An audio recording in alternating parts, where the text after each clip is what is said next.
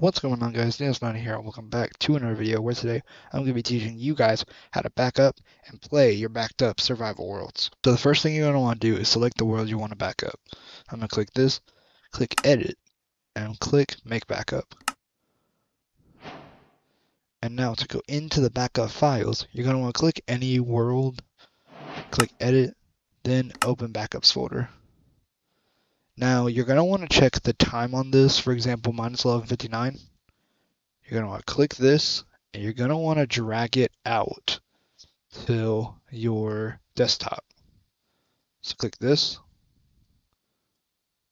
put here or wherever you want. And now you're going to want to extract it. If your laptop doesn't have the ability to extract, what you can do is download WinRAR or 7-Zip. You can easily look up a Minecraft tutorial for that or a YouTube tutorial, sorry. Now drag the file out here. You can go ahead and exit out of this. You're going to want to go back to the backups file and click .minecraft. You're then going to want to go down into saves go all the way down to the bottom because it goes from uh, alphabetical order, so it doesn't really matter. Now you're going to want to click on this and rename it to whatever you want the backup to be called. So I'm going to go and put backup. Press enter and it'll save.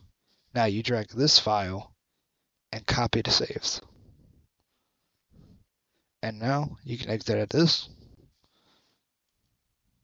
and then cancel, back, go into single player, and it'll say Cobblestone Isles backup or whatever you name the backup file. That is how you back up your Minecraft worlds as well as play your backup worlds. Thank you guys so much for watching. Please like the video and subscribe for more Minecraft, Stardew Valley, and Pokemon content.